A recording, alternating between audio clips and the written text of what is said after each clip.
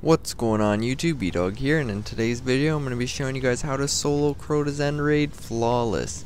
Um, I'm doing it as my Titan character, but if you guys wanted to see for like a Hunter or a Warlock, I could probably make videos for those.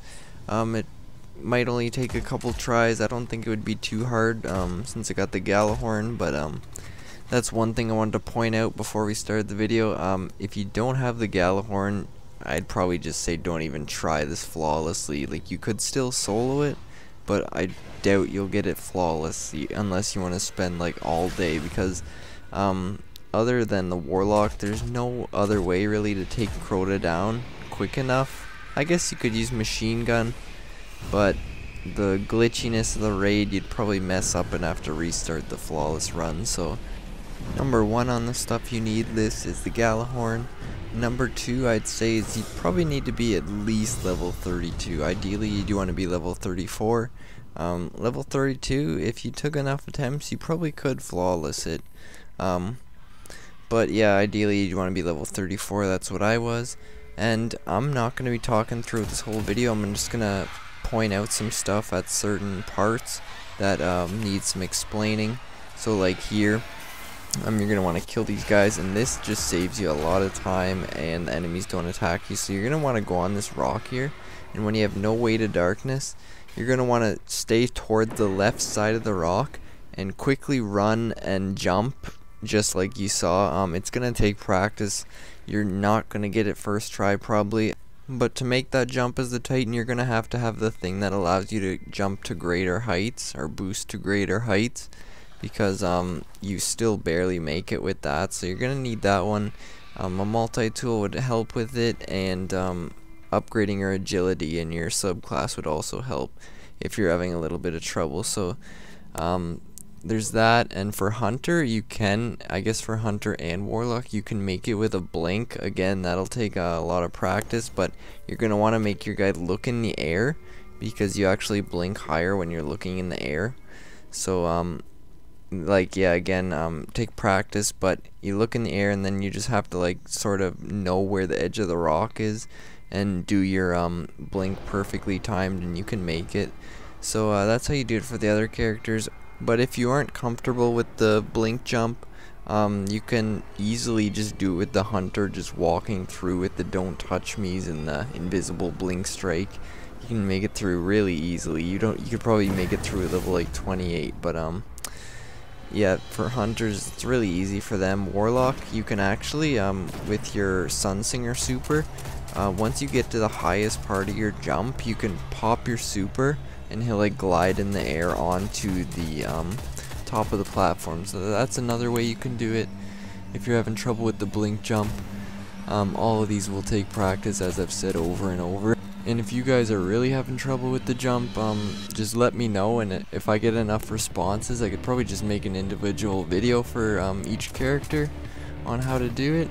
But um, that's about it for the first part. It's really easy after you do that jump, no enemies attack you, and you basically just wait, take out the ogre with your sniper, rocket, whatever you have, and um, just wait for the next part and I'll pick this up again when we get to the bridge and I'll tell you guys how to get across.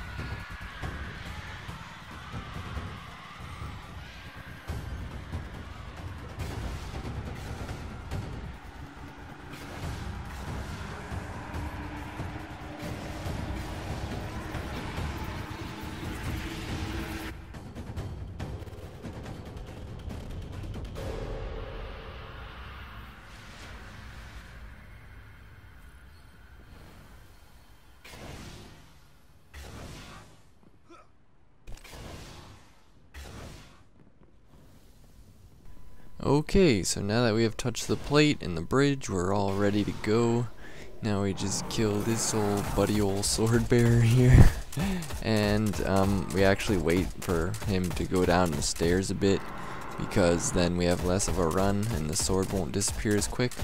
But here we go, we pick up the sword and here again you're going to want the jump to greater heights and you can make it fairly easily with a Titan. You just gotta have um, your swipes timed right and arms that have increased melee speed helps as well. So um, here you can see we make it fairly easily. And if you don't make it there's a way that you can go to the right or the left. Either way doesn't matter. And you can actually land on like a little rock and jump up from there. But um, again there's so much stuff I could just make another video about. So like if you guys um want to see that like this video comment below let me know all that stuff. But here you're just gonna want to kill the enemies. And basically when the ogre comes out just snipe the shit out of him gallium whatever you want to do. And the wizard too I if you have rockets like here I have two I'd save the rockets for the wizard actually. Because the wizard's pretty annoying compared to the ogres ogres aren't too hard here. I don't even um, have sniper or rockets for the ogre. Ideally you'd want to have a sniper ammo to take him out because uh, you'll see here that it's actually pretty sketchy taking him out with my Mida multi-tool, but um, you're gonna ideally want sniper sniper rifle ammo, and also you cannot go past the little lip I'm shooting there behind the thralls. You don't really want to go past that for too long because the totems will turn red and you'll lose. So um, you're gonna want to probably stay right behind this rock you can jump up there for a bit, but make sure you get back down because those to totems will blow up if you um, are up there too long. So here you'll see take out this dumb old wizard. We don't have sniper or anything, so we just gotta take him out with our multi-tool. Didn't really feel like using a synthesis. So we just take him out like this. It gets pretty scary at times. He's charging me and stuff, but um, we just blind him with our bubble and everything is good. So we take him out and then the next guy, next ogre's at the other side. He's really easy since uh, Wizard's gone and he barely shoots you. So that's it for this part and yeah, um, again to make it across as a hunter you can blink, warlock you can blink.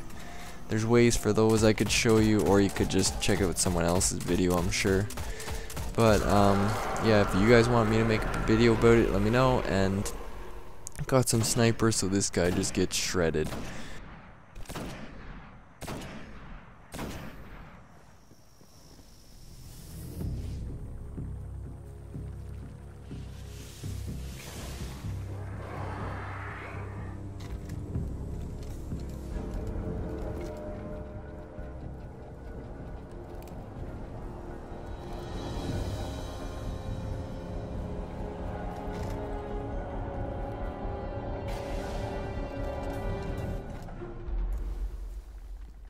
Okay, so this is only normal mode, so the Shrieker hallway, the Shriekers don't respawn, so you can just kill it, shoot a galley at it. First one you can kill with basically anything, you can kill with your primary if you want.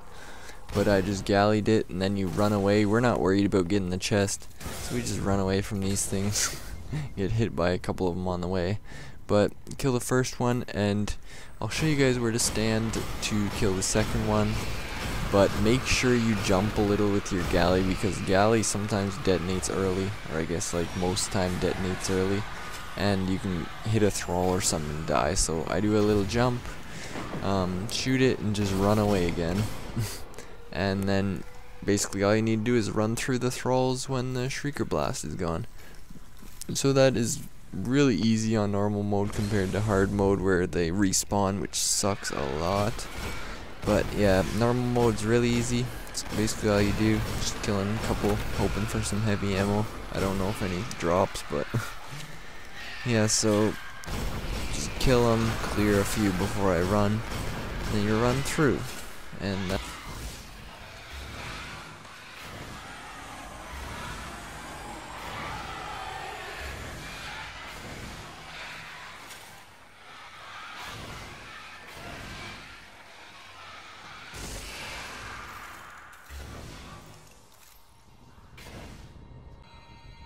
Okay, so as you guys saw there, there was a little cut in the gameplay, but it's only because my PS4 can only save uh, up to 15 minutes of video at a time. So between sections like this and Crota, I actually saved it, and um, that's why you see like the little transition. It wasn't like fluent or anything. So if you guys don't believe me, I did it flawless. I have screenshots at the end of my getting my trophies and shit, but um what you're going to want to do is you're going to want to draw out the left wizard like you saw there. I just went in the room and ran away to this side because now all the ads will spawn at that side and not this side. There's only the two um, uh, knights here, so yeah, you just galley the shit out of the wizard and pop the synth and then you take out the shrieker. Um, now all the enemies are at that side, so um, you don't really want to run in there too quick. You want to play it a little more cautious. Sit back here, take out the wizard, and shoot a rocket. And then I think I just snipe her for the rest of it. Since her shield is gone, I can just rip her with the black hammer. And there it goes. Now the enemies. This part gets a little tricky. Not too tricky, but a little tricky. These two knights might follow you in. You gotta check behind you. So you want to jump on here uh, the acolytes will be shooting you too, which is annoying.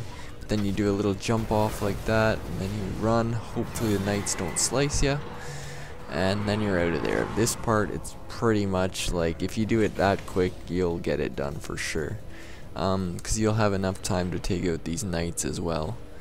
Because there's still the two knights uh, with the swords left, and there's a knight with the acolyte gun, which is really annoying but the black hammer or I guess any sniper will take care of them really quick.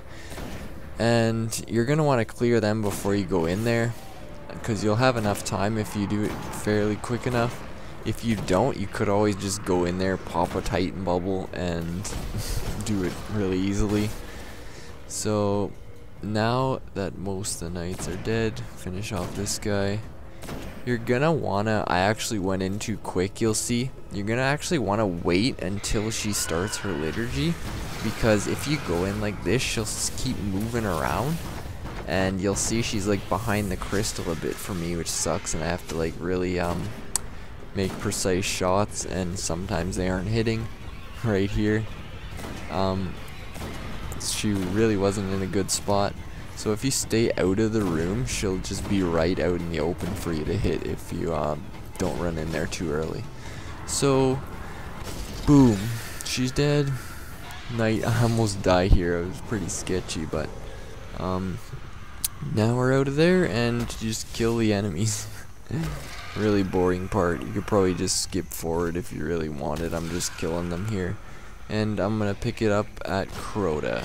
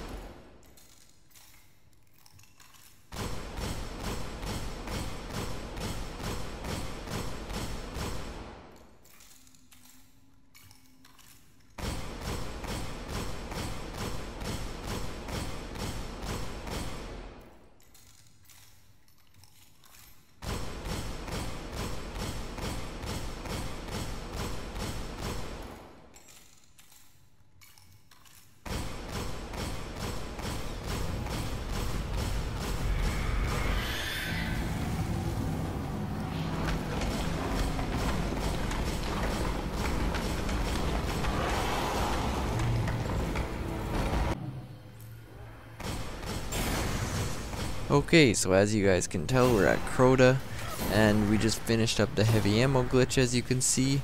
Um, if you don't know what the heavy ammo glitch is by now, it's basically you get rid of all your heavy ammo, switch to the icebreaker, and then you have a hand cannon, and you get rid of all the ammo in your hand cannon. I'm pretty sure it has to be a hand cannon, I don't think the other guns will work, but you get rid of all the ammo in your hand cannon, and as you'll see everyone drops heavy so you can throw grenades shoot them with the icebreaker stuff like that. Super. But you just have to make sure you don't pick up because then they'll stop dropping heavy. Um, like if you uh, pick up primary and if you even just wait long enough um, you might just uh, automatically regenerate uh, special and all your ammo. So you got to do it fairly quick not super quick but um, this first part here, you'll see you just do it the same basically. Take out the enemies. You don't need to generate orbs or anything because you're just playing solo. And it's not hard mode, so it doesn't really matter either. So, um, for Crota, yeah, if you guys don't, I'm, you must have done Crota by now. I'm not telling you how to do flawlessly if you haven't done Crota already. So, um, this part you're just gonna basically do it like you normally do with the Gjallarhorn. Um, there is the way with the Warlock um, that works actually really well with the super, but then again you can only get like one down per uh, sword, so that sort of sucks. This way you can do like two. Um, this isn't a great run. I sort of like messed some stuff up. Like here, I didn't kill that knight that's sitting beside Crota, so I gotta waste a couple galleys on him right now. But, um, yeah, some stuff I just didn't really pay attention to, I guess. And, um, Crota wasn't behaving the way I really wanted him to. Sometimes he was going down really early, as you'll see, and I only get like two hits. Um, only a couple times I think I get three hits. But, yeah, most times I'm only getting like two hits, which sort of sucks. So, uh, yeah, I have to deal with ogres and stuff. So that's the reason um, I'd actually suggest you go in like level 33 or 32 because 34 the galley actually takes him down too quick so um, as you'll see there I'm only gonna get probably yeah two hits in and this time I think I get three but um, yeah I'd probably recommend being 33 so that's about it. Um, I don't think I have a whole lot more to explain basically just regular Crota from here. Um, going down to the ogre room to deal with um, the middle ogre room that is. It's not the hard ogre room. Uh, the middle ogre room to deal with ogres. Um, that's about it. Um, just regular Crota. Taking them down with the galley. Same thing as that first time.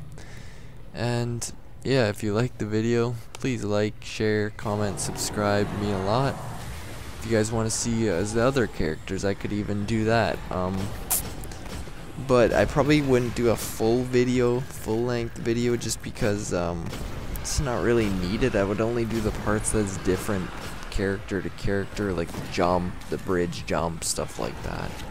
Um, so here we're basically waiting for Crota to go center. All you guys, if you're watching this, how to do flawless, you obviously know how to do Crota. So um, here we kill him.